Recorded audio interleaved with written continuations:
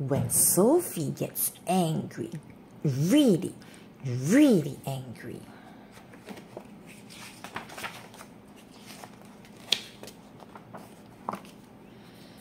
Sophie was busy playing when her sister grabbed Gorilla. No, said Sophie. Yes, said her mother. It is her turn now, Sophie.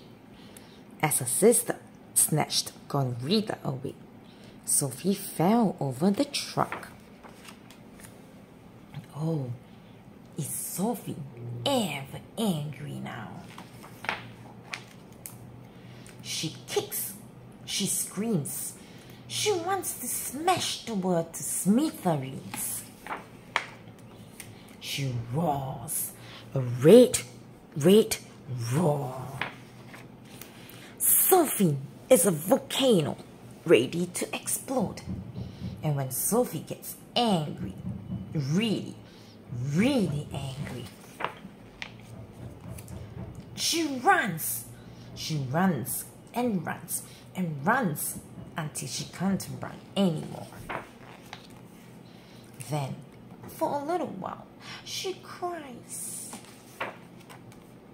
Now, she sees the rocks, the trees, and ferns. She hears a bird. She comes to the old beech tree.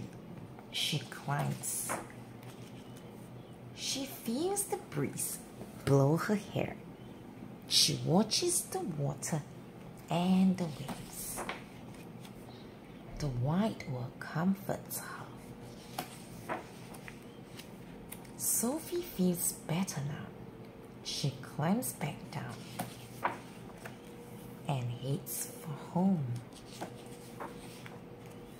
The house is warm and smells good. Everyone is glad she's home. Everything's back together again. And Sophie isn't angry anymore.